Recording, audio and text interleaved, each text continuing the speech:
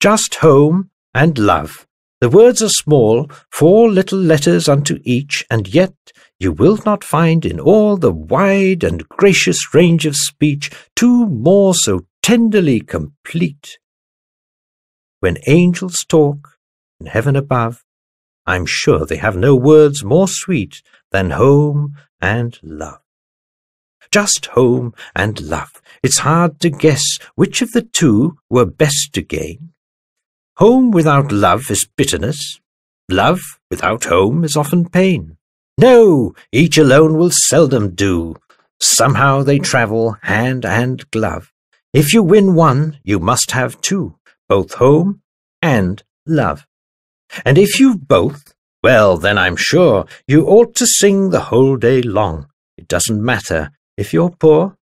With these to make divine your song, and so I praisefully repeat, when angels talk in heaven above, there are no words more simply sweet than home and love.